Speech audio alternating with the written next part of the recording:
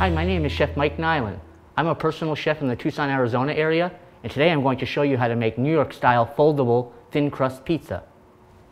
The ingredients you need are a good pizza sauce or marinara, your favorite pizza cheese, mozzarella, smoked provolone, parmesan, and a small piece of pizza dough, preferably 12 ounces in measure.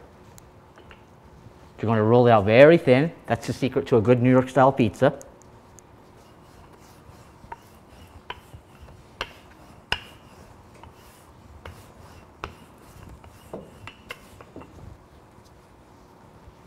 Gently taking it up, and with your knuckles and your thumb, pulling out the edges very gently.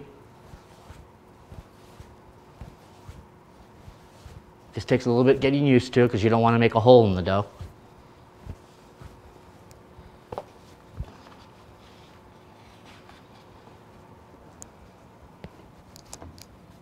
Then you're going to take your sauce, spread it.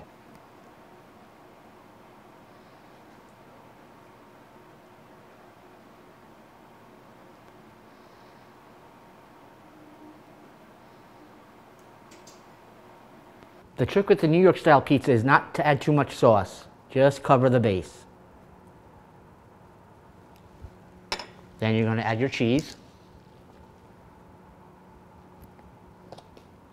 Again, covering the whole base, but not a real lot. It's a thin style pizza, the New York style pizza.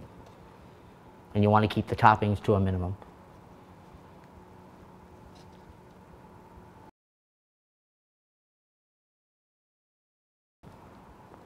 Then put the cheese all the way toward the edge of the crust, making sure that it is evenly covered. And then you're going to put the pizza in the oven.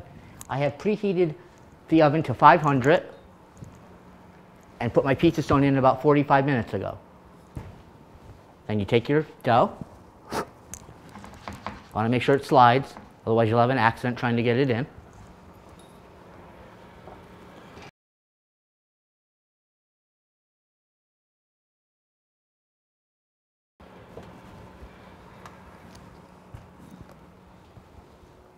Now that pizza is going to bake for 10 to 12 minutes, turning halfway through, so evenly coated, evenly cooked on both sides.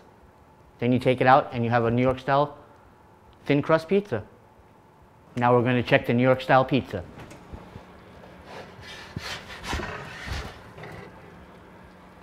Perfect. Crust is nice and puffy. That's how you make a New York style foldable pizza.